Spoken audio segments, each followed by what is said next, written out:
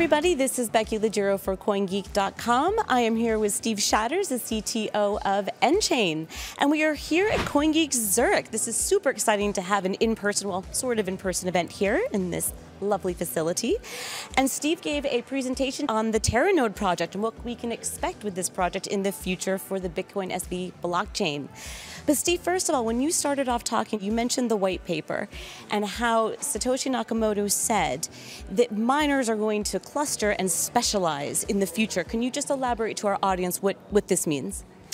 Well, um, I, I, quoted something uh, from Satoshi where he talked about server farms, and that's the part that I think people focus on most about that particular quote. That uh, he expected that Bitcoin nodes would be run on many machines in a, in a, in a large clustered environment, but it was a kind of a nuanced part to that quote that indicated that uh, uh different parts of the cluster would actually specialize in different tasks, uh, and he described that it would just be one or two nodes dealing with the networking part of, uh, of Bitcoin, and it's described in section five of the white paper, it's actually one of those steps is, is, is nodes will uh, collect and broadcast transactions from the network. Um, so it just turns out that different types of machines happen to be better at different types of work, uh, and that's one of the big challenges for us at, in the Teranode project is working out the ideal uh, distribution, I suppose, of workloads to machines and, and, matching them up properly. Very good. And when you say specialize, what do you mean? And what different ways do you think nodes will be special specializing in the future? Um, well, I'm talking about cluster nodes as opposed to a node, and, and I suppose the terminology uh, is important because a, a, node may be many, many cluster nodes, many physical machines. Yeah, um, but you know there are some jobs that require huge amounts of memory, uh, and um, you can get optimal performance by doing them that way. So you might have one server configured with lots of memory, but it doesn't really need a you know hefty C CPU. It doesn't need to store anything. Uh, doesn't need to store much on disk. Uh, and there's other loads that are very CPU intensive, so you would offload those to different types of machines. Uh, maybe even machines that have different internal architectures, uh, but it's really just about uh, matching the workload to uh, the equipment that is sort of best uh, positioned or best equipped to, to perform that type of work. Very good. And you mentioned it a bit earlier, but can you describe how this all ties into the Teranode project? So the Teranode framework itself is basically a flexible framework that allows you to distribute work amongst a set of different machines. And it's not actually even specific to Bitcoin. You could build a pipeline on top of Teranode that did something completely unrelated to, to Bitcoin, but of course this is what we are using it for.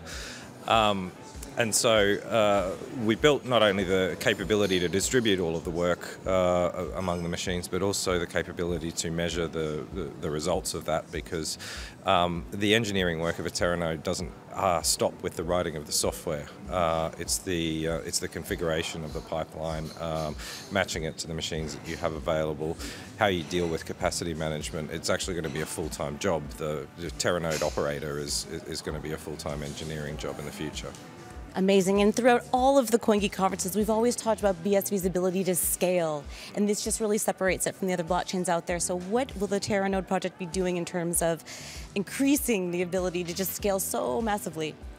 So we often talk about scale in terms of uh, throughput rates, block sizes, uh, transactions per second, uh, and people want to quote ever ever higher numbers. Um, the goal of Teranode is to actually wipe out that paradigm altogether because uh, if you have a you know throughput capacity of 50,000 transactions per second and all you need to do to increase it to 100 is to bring two more machines up. Well, what does it mean to say I've got 50, I've got 100? Because, well, you might have 100, but I can just bring two more machines up and have 150. Uh, that throughput and those numbers are purely a function of demand because when the demand is there, the revenue is there to bring up additional, you know, provision additional machines uh, and increase the capacity. Uh, and so, you know, Teranode takes these sort of limits of, uh, of throughput and block size, etc., and just blows them out of the water. There aren't any anymore. Absolutely amazing. Is there anything else you wanted to share with our audience about this project and why it excites you so much and probably you're working crazy hours to get this done? Well, I mean, it's probably one of the most fun projects I think I've ever worked on. The second most fun was uh, was the first one that I did in Bitcoin uh, eight or nine years ago. But it's a shift in paradigm, I think, uh, in, in, in, people's understanding, and, and, that, that will mean that some people will not understand what the point of it is.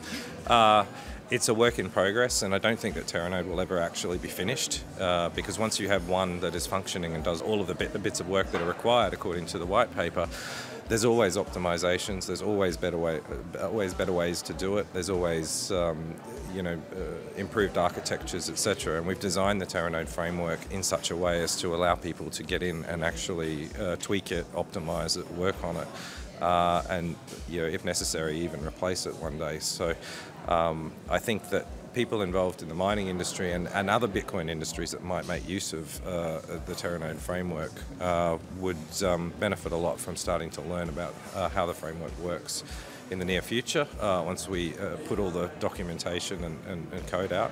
Um, because there's a lot of opportunity there to uh, to compete and be ahead of the pack. Amazing. Can't wait for that day and for that party when the paperwork and everything is out there. Steve, thank you so much. Thank you so much for all the work you do for this ecosystem, and it's been a pleasure chatting with you today. Thank you, Becky. Thank you guys so much for watching. This is Becky Liggero with Steve Shadders for CoinGeek.com.